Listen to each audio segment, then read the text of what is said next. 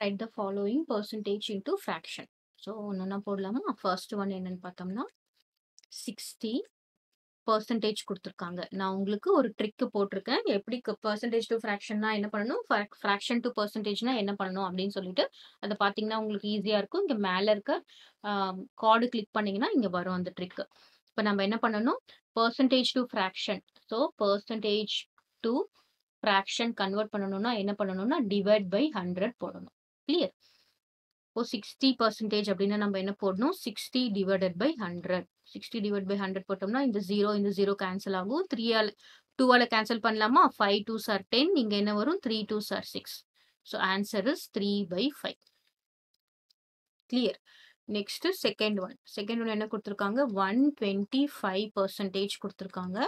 அது நம்ம என்ன பண்ணணும்? One twenty five divided by hundred இப்போ என்ன வரும்? Four twenty fives are hundred and five twenty fives are one twenty five so answer is five by four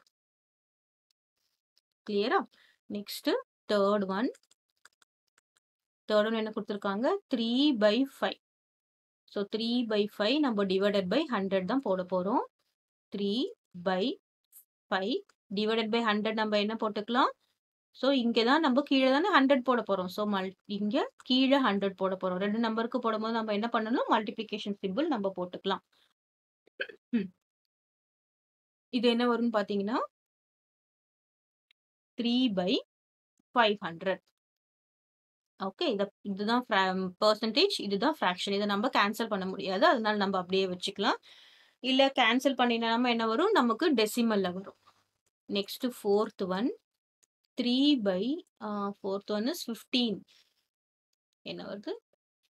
Fifteen by ten so divide by ஹண்ட்ரட்னா என்னது? கீழே தான். டினாமினேட்டரில் நம்ம hundred போட போகிறோம் இப்போ நமக்கு என்ன வரும் அப்படின்னு பார்த்தீங்கன்னா கேன்சல் பண்ணலாமா? இது is three fives are fifteen இது என்ன வரும்? டூ ஃபைவ் சார் டென் அப்போ நமக்கு என்ன வரும்? Three by two into hundred is two hundred three by two hundred next fifth one fifth one நமக்கு என்ன கொடுத்துருக்காங்க?